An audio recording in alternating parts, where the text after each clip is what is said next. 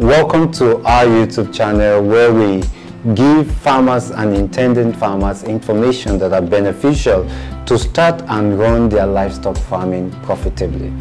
But of course, if you've not subscribed to our YouTube channel, I think this is the best time to do that. Today, I'm just going to be talking about three simple or basic steps for an intending farmer to know what an intending farmer needs to know to start a successful poultry or livestock farm.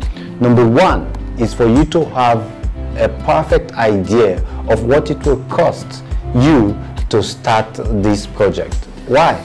Is this necessary? Because you don't want to start something you cannot finish. So it's important that you have like a full idea or a full grasp of what it will cost you financially to be able to start from stage one to the final stage where it goes out into the market.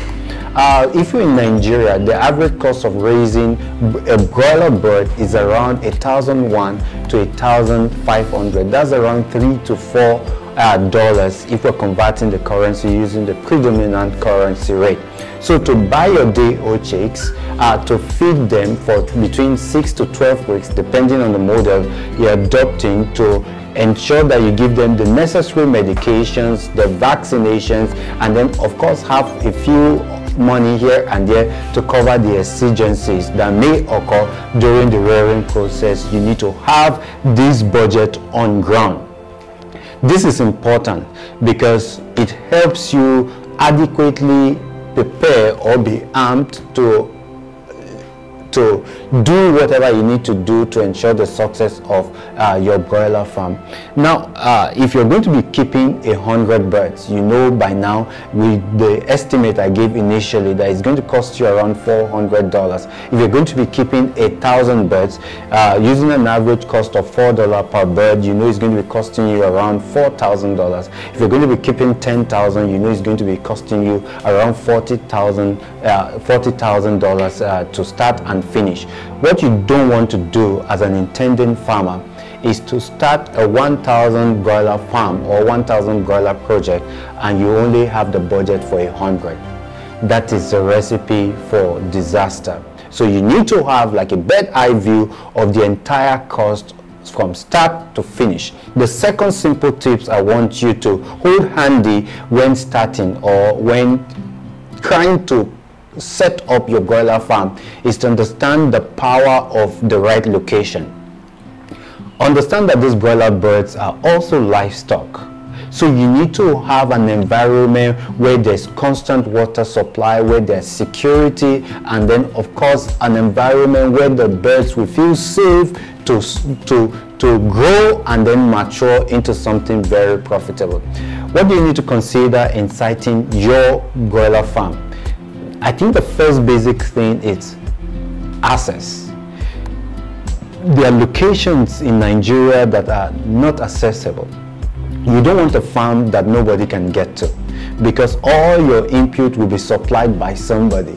So you want to pick a location where you have easy access. You want to pick a location where the water quality is good and although there are a few things here and there you need to do to be able to improve the water quality but you want to get it right at first. Then Lastly, in terms of location, you want to get a location where you know that human beings or the people around that community uh, will not be a nuisance to the birds or the farm will be a nuisance to the person, vice versa, as you may put it. So you have to choose a location where it's easily accessible, where there are inputs, water quality is good, and of course, where human, uh, human interference will be largely minimized. The third and then, of course, the most important point when when you are starting your broiler farm is to understand that you need a very good source of input. In starting a farm, your source of input is as important as your budget because again you could have the required necessary cost to start and finish your broiler farm but if you get a source of input, let's say source, your source of uh, day old chicks is bad, then you know that it will be difficult to make anything good out of that farm.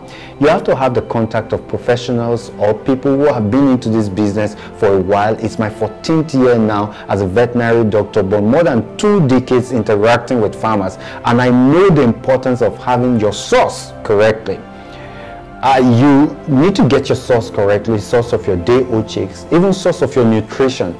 You could get your quality day old chicks perfectly, but if your nutrition is poor, the birds will still not grow. You need to get your source of medication and then of course the source of vaccines. Vaccines are a major source of concern in our industry in West Africa because of the quality of storage. You need to know where to get your source of birds, your source of medication, your source of vaccination before you start. If you want to get more information on Farm Alert, our services and how we help farmers, you can easily send an email to help at farmalert.com.ng. We're here to help farmers, we're here to help you grow, we're here to give you the necessary information you need to succeed as a broiler farm. And then lastly, before I leave the stage, is that you need to stay in constant touch with us. Subscribe to our YouTube channel if you have not done so, and then let's keep the community growing and growing stronger. Thank you and happy start.